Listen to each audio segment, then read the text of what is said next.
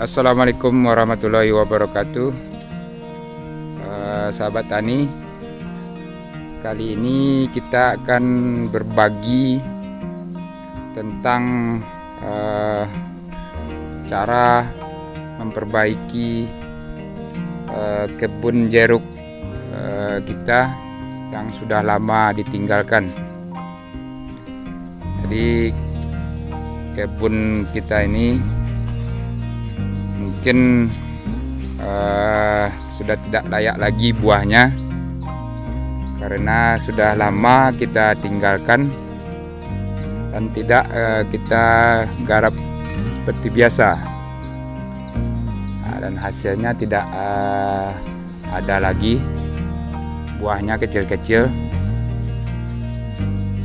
Uh, dan sekarang kita perbaiki lagi supaya hasil dari kebun kita ini uh, hasil panennya meningkat dan bagus-bagus lagi. Nah ini kebun kita ini kita perbaiki. Mungkin memperbaikinya uh, terlalu ekstrim tentang pemotongan-pemotongan uh, pemangkasannya sudah banyak yang harus dipangkas untuk memperbaiki. Dan keadaan tanahnya juga kita perbaiki lagi supaya subur. Kita kasih pemupukan yang tepat supaya nantinya hasilnya meningkat lagi jadi ini kita pangkas. Mungkin ini pemangkasan dari jeruk kita ini uh, sudah begitu banyak yang harus dipangkas. Nah ini bisa dilihat pemangkasannya eh, dahan-dahan uh, yang tidak uh, produktif lagi kita buang bahan yang dari bawah pun kita buang supaya uh, nanti ke atasnya uh, bisa berproduksi lagi atau bisa panen lagi. Ini kita kasih pemupukan di bawah. Tanah yang di bawah ini kita gemburkan uh, supaya pupuk yang kita kasih nanti uh, cepat bisa memperbaiki uh, batang jeruk kita. Nah, ini kebunnya cukup luas uh, daerah pertanian kita ini. Tapi sayangnya uh, kemarin ini kebun kita ini tidak diperbaiki atau tidak di uh, kasih pupuk dan buahnya eh, kecil-kecil. Uh, uh, dan untuk memperbaikinya lagi kita kasih uh, tutorialnya supaya uh, kalau ada petani-petani lain yang uh, keadaan dari jaruknya seperti sekarang tidak usah dipotong habis atau tidak usah dibuang. Nah, cukup kita perbaiki seperti yang kami lakukan di kebun kita ini. Nah, jadi pemangkasan-pemangkasan itu harus eh, ekstrim. Tak bisa sedikit-sedikit. Soalnya nanti untuk memproduksi kembali kebun kita kita harus eh, mengajakannya seperti ini. Jadi awalnya uh, jeruk kita ini seperti ini. Dan kita perbarui lagi. Nah, kita pangkas yang tidak perlu.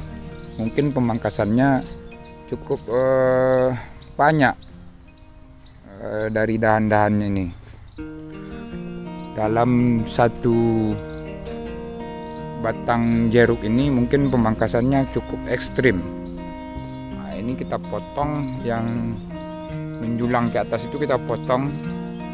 Yang tidak perlu yang tidak produktif itu kita potong. Dan kita rawat yang eh, dahan-dahan uh, yang masih produktif ini. Nanti setelah kita potong ini di bawahnya itu kita kasih pupuk nah, seperti ini. Kalau bisa dikasih pupuk kandang. Nah ini mungkin setelah pupuk uh, yang kita kasih sekarang kita kasih pupuk kandang. Ini sekarang kita pemupukannya uh, kita lebihkan atau kita banyak memakan pupuk supaya uh, jeruk kita ini cepat kembalinya buahnya itu. Cepat besarnya buahnya. Nah, ini umurnya mungkin jeruk ini udah tua tapi uh, masih bisa diperbaiki. Masih bisa diperbaiki. Uh, dan kalau ada uh, rekan-rekan uh, yang lain yang punya uh, jeruk kayak gini tidak usah dipotong habis tidak usah tidak usah di, ditanam ulang lagi. Nah, cukup kita rawat kembali supaya nanti eh, buahnya ini bisa besar dan berbuah lebat kembali. Ini kebunnya eh, awalnya seperti ini. Tidak ada hasil tidak berproduksi lagi nah, kita jadikan Nah ini dalam proses yang sebelah sini belum dipotong tapi sedang dikerjakan. Nah, ini pengerjaannya sedang berlangsung. Nah ini yang sudah dikerjakan kebunnya. Jadi tidak usah kita potong, tidak usah kita potong habis. Cukup kita pangkas saja yang uh, tidak perlu, yang tidak produktif. Dan uh, pangkasan pangkasan itu uh, harus uh, ekstrim harus banyak. Tidak usah ragu-ragu. Uh, untuk di bawahnya untuk tanah kita pupuk kembali. Supaya uh, cepat menghasilkan lagi ini untuk pupuk. Uh, kita lihat di sana apa yang kita berikan pupuknya untuk uh, tanaman jeruk kita ini.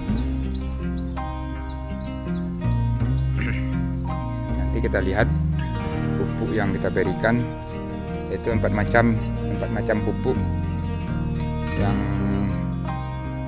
kita berikan di kebun kita ini bisa kita lihat pemangkasan pemangkasannya itu cukup banyak yang dahan-dahannya itu yang besar-besar itu kita potong. Dan nanti eh, batangnya itu eh, batang dari jeruk kita ini kita kasih eh, kapur untuk memperbaiki kulit-kulit dari batang jeruk kita ini. Nah, ini pemotongannya yang besar-besar itu mungkin eh, dan yang besar itu kita potong supaya uh, dia itu terkena sinar matahari lagi.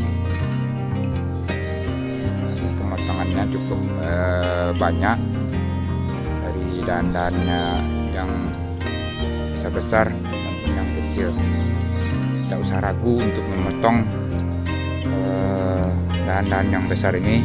Kalau kita ingin memperbaiki lagi uh, batang jeruk kita ini atau buahnya nanti.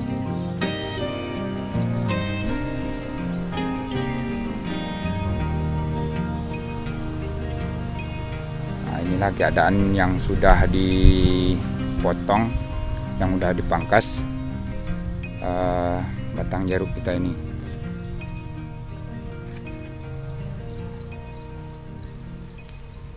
Nah, ini pemotongan dahan-dahan yang besar kita potong supaya uh, terlihat uh, rapi kembali batang jeruk kita ini. Dan hasilnya nanti uh, mudah-mudahan buahnya besar-besar lagi. Nanti kalau misalnya sudah uh, buahnya besar kita videoan lagi nanti uh, hasil dari uh, proyek kita ini hasil dari pemotongan kita ini kita videokan lagi nanti. Bagaimana hasilnya?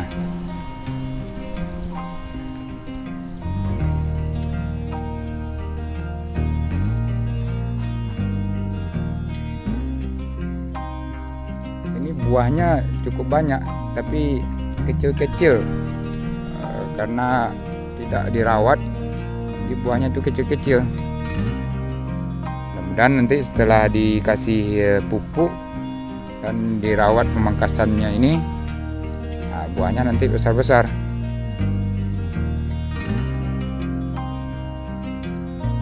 Nah, untuk pupuknya eh, kebun kita ini kalau awal kita perbaiki ini kita kasih empat macam pupuk. Yaitu pupuk urea urea yang non subsidi yang bagus. Uh, urea, uh, tambah TSP tambah ZA terus uh, pupuk untuk mutiara. Nah, jadi itu pupuknya. Kita kasih uh, agak banyakkan dikit pupuk yang kita berikan di tanaman jeruk kita ini supaya cepat hasilnya nanti. Kita lihat pupuknya sana nah ini pupuknya udah dicampur.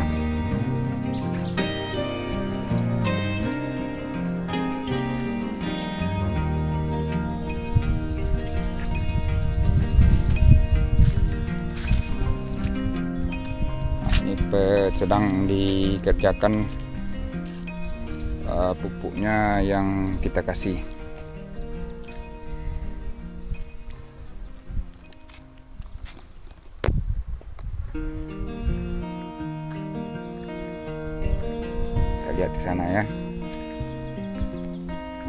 kebunnya uh, cukup luas. Tapi sayang uh, kemarin ini tidak dikerjakan tidak dirawat jadi tidak ada hasilnya. Nah ini di sini dulu dijadikan itu taman teknologi e, pertanian. Jadi sekarang kita ubah lagi e, menjadi taman teknologi pertanian nanti ya cukup sekian dulu ya sahabat tani Sampai jumpa di video-video yang selanjutnya. Assalamualaikum warahmatullahi wabarakatuh.